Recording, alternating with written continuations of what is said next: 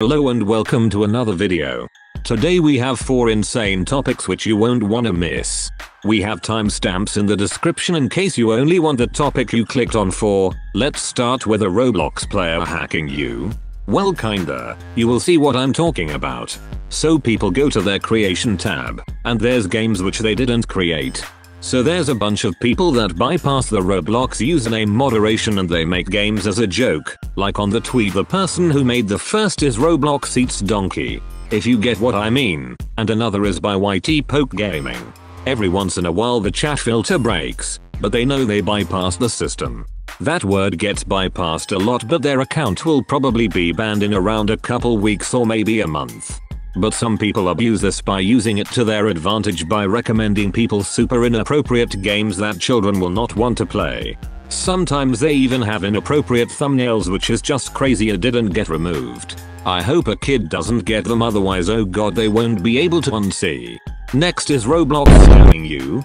So you might be wondering how is Roblox scamming you? Well there's a huge glitch going around where it would say an item is free, but when they buy it it's actually for Robux so they spend Robux without knowing. Let's use this hat as an example. It says it's free right? But when you buy the hat, you actually spend Robux and it actually cost 1000 Robux. It's not even just for free items, there's some that say it's cheaper than it actually is. Here's some glasses.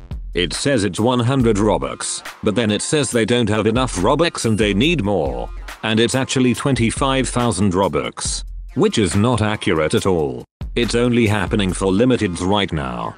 And it's not just like 20 or 50 Robux being lost. This is thousands of Robux being lost because of this glitch. So be careful when looking at prices for limiteds. So next is Roblox literally deleting their own group. So if you weren't aware many groups are being deleted by Roblox right now. So yesterday or two days ago or three I don't keep up with dates, Roblox content deleted the STARS program. So if you don't know what the STARS program is it's like a group where YouTubers can have star codes which people use and when they buy Robux using the code, the money goes to them. And Roblox literally content deleted it. Like the name was content deleted the messages were content deleted. So many people were worried that the STARS program will be ending. But after this tweet people realized it's not just the STARS program group being deleted. It's many many groups being content deleted. It's just so weird and rare to see Roblox moderate their own group. So another person called Totoy Gaming on Twitter said it seems to be a bug or false delete, and their group was apparently giving out personal information in their description. So let's go to our last story which is Driving Empire being sued. If you don't know what Driving Empire is, basically a car game like its name suggests. But Driving Empire has something different compared to other car games and its models are based off real car brands. Sometimes they use a logo, sometimes they even use the whole car itself. And for a long time they've been getting so many lawsuits. And basically copyright takedown requests by companies and a tweet saying they've got another takedown request for using property of the following. Bentley, BMW, General Motors, Hyundai, Lucid, Rolls-Royce, Stellantis, and Toyota. So that's 11 brands in the last month who have issued requests. I'm not sure if this is October or November because it's only been a week of November so far. I'm not an expert at cars but I recognize a lot of these brands like BMW, Hyundai and Toyota. There's two sides for people right now. Some think it's deserved that the companies want to take them down, which is fair enough it is their assets and Driving Empire is making money of their assets.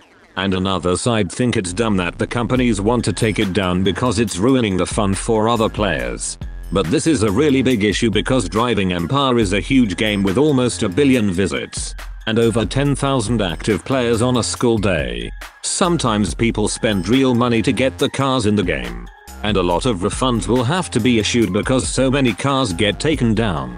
I won't be surprised if more lawsuits get issued by different car companies if they don't just remove the real brands.